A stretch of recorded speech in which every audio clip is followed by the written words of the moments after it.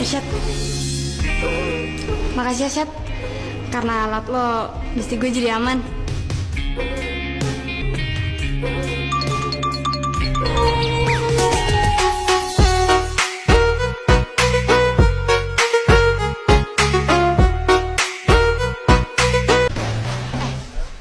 Lu tuh kenapa sih? Setiap gue deketin lu selalu gemetaran. Kalau nggak kejang-kejang.